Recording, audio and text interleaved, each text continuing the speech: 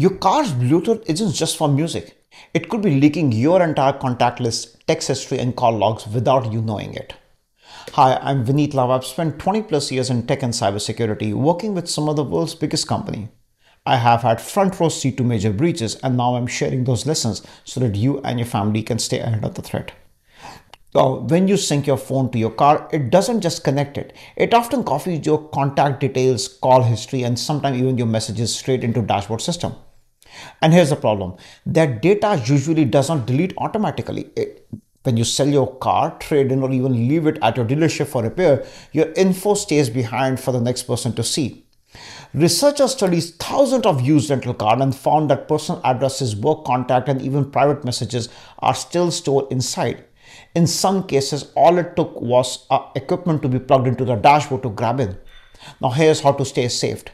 Delete old paired devices from your car. Factory reset your infotainment system before selling or even returning it. And for rentals, never ever sync your messages. Stick to call and music only. Want weekly plain English tips to protect your data? Comment decode and I'll send you a link to my weekly newsletter. And follow this channel for more such details.